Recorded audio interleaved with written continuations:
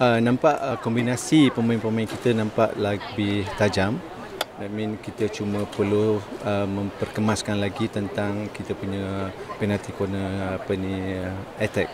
Sebab kita dapat lihat banyak penalty corner kita dapat tapi uh, kecajaman tu belum ada lagi.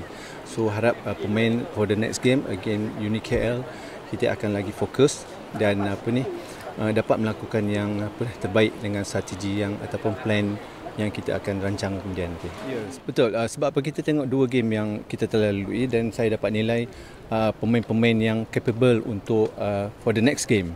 Because uh, this is a vital game uh, dengan UniKL for the league title. So we hope kita punya player akan lebih fokus and then their fitness, uh, their skill, we have to touch up lagi. Especially on the build up, on our punya build up and our punya PC attack.